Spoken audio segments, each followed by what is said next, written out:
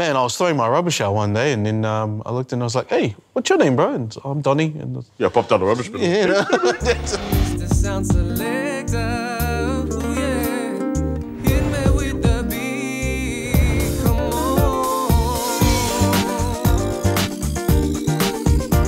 It's on. Such a good song. They nailed it. The, the tempo, the vibe, the energy. Melody so on point. Production was dope. It automatically transports you to that happy time. It's on. It's on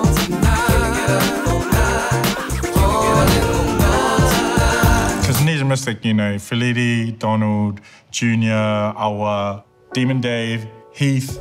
We grew up in Central Auckland. That's a big part of who we are and kind of our development. One of the things about growing up in Central is that it's a representation of the group, that there's so many different backgrounds. But we were kind of the same in terms of the islands. I mean, that's I suppose that's why we blend so well together. Yeah. Just our cultural histories are so similar. Yeah. It's like a tropical salad, you know, fruit salad. It all tastes good together. Nice. Because we're all half caste or, you know, Kiwi born, city raised, didn't quite know as much as we wanted to know about our cultures. Many Pacific Island kids who are into music are now forming their sound in high school bands. So we all ended up in the same music class um, and kind of given a little bit of a nudge in terms of writing our own music. And it was kind of like just the stars aligning kind of meetup. From the sounds of the south to central Auckland, here's Nesian Mystik from Western Springs College. I remember, like, Dave getting obsessed. I remember Dave getting Oh, obsessed with the guitar. Most of everything I play, um, the style that I play is all learned just from listening to the radio. Yeah. Um, picking things up with my ears. He went away, knew a few chords. The next time he could play multiple songs.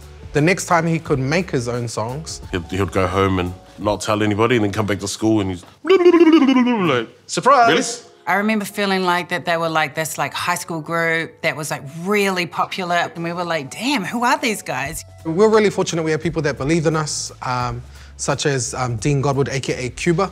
I'm Dean Godwood, aka Cuba, and my part in the Nesian Mystik story was as their record label with Bounce Records, and also as the person that recorded their music in the Bounce Records studio. We had like three songs, four songs. Yeah.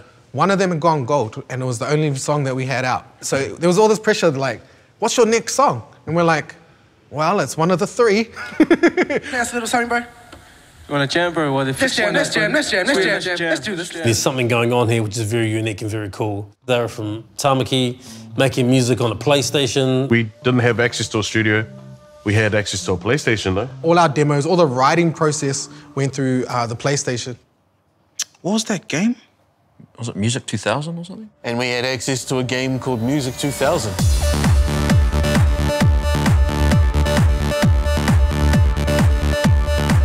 Once I learned that game, I was on my way. So when I first met David, he was making beats for a broken PlayStation in his living room through an old TV. With the help of Dean, we transferred all the sounds from the PlayStation onto proper software. The recording process would normally be a case of building on David's pre-production, then bringing in Feleti, Donald and Junes to lay down their raps, and then Awa to do his vocals, and then I'd get busy with the mix down and final tweaking.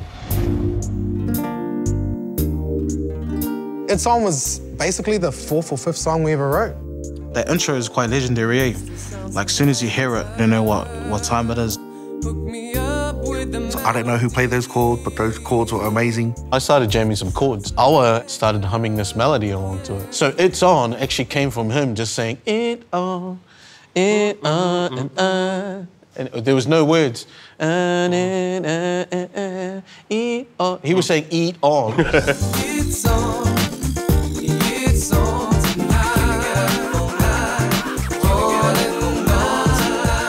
You I'm using, using the acoustic guitars, the bake, which is the island drums, and, and all the island sounds, and just the way they managed to fuse it and make their own sound is, is genius. It was kind of like I wanted to showcase all our talents.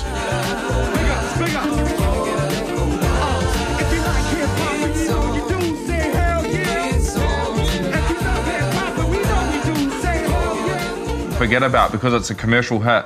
You're like, oh yeah, you know, whatever. But they're actually dope rappers. They got sick flows. Now automatic system and vital African X Microphone intimidation, impenetrable finesse Lyrical mentality, a syndication of style. Prepare to battle on a mind generation. So watch your cipher, hold the vibe. And turn the lights on For men to get the dream of audio system to rattle Let bygones be bygones, you know you can't rely on. It kind of resonated when I realized like we were number two and Eminem was number one. You've had gold singles, you've done national tours, you did Rumba, you were nominated for the Silver Scrolls. Has it been a bit like a roller coaster? Yeah, it has it. It's quite obvious it's a lot in a small space of time, but uh, we took it you know, quite well and just took everything slow, you know, and everything we did. And just had a lot of fun with it, I suppose. Eh? We started discovering who we were and what our sound was. And we started becoming comfortable.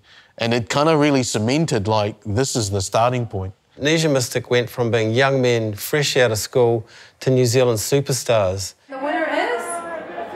It's Nisha Mystic. Nesian Mystik. Nesian Mystik. Nasian Mystic.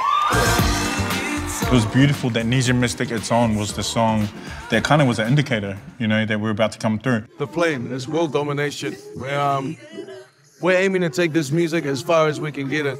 I mean, if they're selling music on the moon, we'll get there somehow. Just like their album, Nesian Mystik planned to polysaturate the world, Nesian style. What I love about Nesian Mystik and It's On is, is the boys are so true. They're just them. Well done. Congratulations. So sweet to It's a special moment right It was, there. it was. Oh, you guys. And we, we're always talking about PI, um, uh, Māori people, you know, striving to success. Culture, family, like values. Just acknowledging where we're from.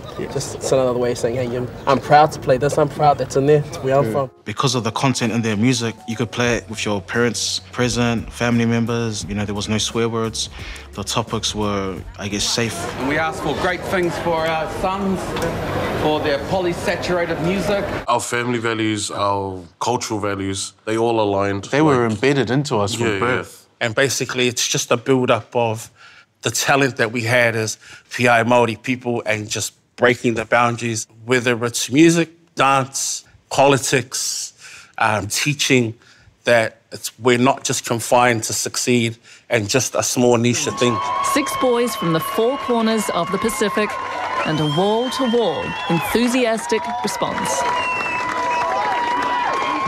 I think it's a blessing that Nesian Mystik was the first group to get some commercial success because they really laid the groundwork down here um, in the community, you know, and their whole vibe is a community vibe. We wanted to kind of share what life was like for brown boys in the city. When I think of like Polynesian spirituality and um, our oral traditions, like starting to realize and make connections between the fact that there's power in what you say and what you do. Yeah.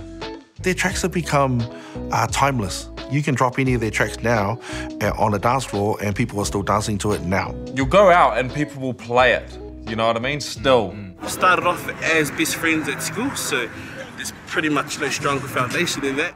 It was solid seeing um, Pasifika and Maori people on the big screen being themselves, um, being comfortable in their skin, and um, promoting, I guess, our people in a positive way.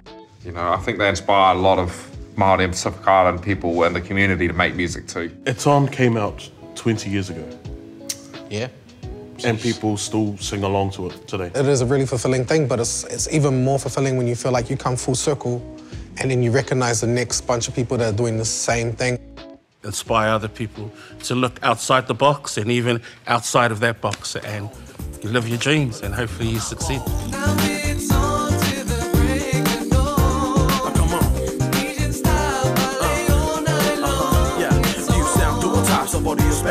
Contenders wings and short lived ones. We rock the section, complex and flows like saber tracks and active. Over the mic, Beastie Boys, intergalactic.